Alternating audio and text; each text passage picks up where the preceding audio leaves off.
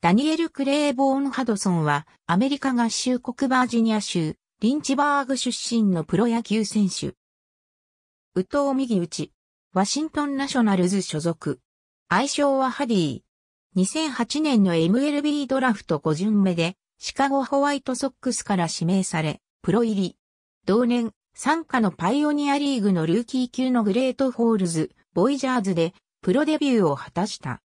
2009年はマイナーで A 級からトリプル A 級の4つの階級に在籍し、14勝5敗、防御率2.32を記録し、ミルブ最優秀先発投手に選出された。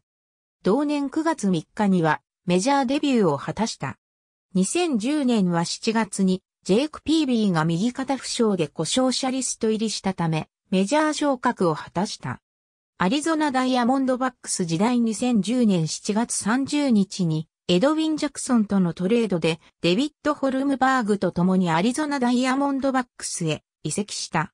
移籍後は7勝1敗、防御率1.69と目覚ましい成長を遂げた。2011年は、ヤン・ケネディに次ぐ先発2番手として16勝を挙げ、ダイヤモンドバックスの地区優勝に大きく貢献した。また、打撃でも打率277、1本塁打、14打点でシルバースラッガー賞に選出された。2012年7月9日にトミー・ジョン手術を受けたためシーズンを終了した。2013年は前年の手術の影響で開幕から故障者リスト入りした。6月18日に2度目のトミー・ジョン手術を行い、シーズンを全休した。オフの12月2日に FA となったが、12月13日にダイヤモンドバックスとマイナー契約で再契約した。2014年3月30日にダイヤモンドバックスとメジャー契約を結んだ。同日に前年の手術の影響で15日間の故障者リスト入りした。9月3日のサンディエゴパドレス戦で2年ぶりのメジャー復帰を果たした。2015年からはリリーフとして復活した。2016年11月3日に FA となった。ピッツバーグパイレーツ時代2016年12月19日にピッツバーグパイレーツと2年1100万ドルで契約を結んだ。契約には交代完了に応じた出来高払いが設定された。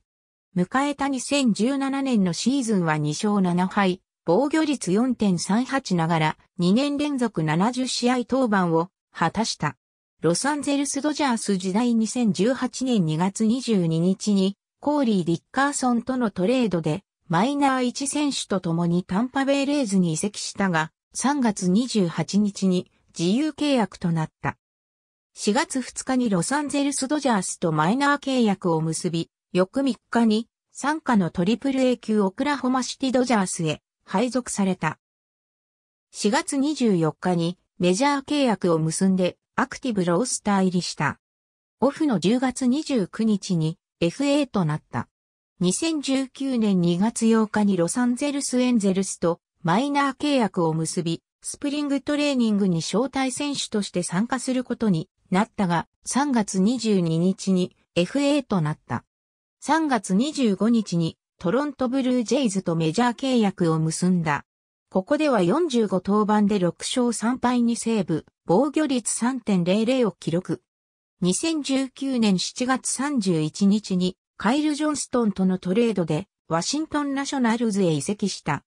移籍直後は主にセットアッパーとして起用されていたが、8月後半からはクローザーも任せられた。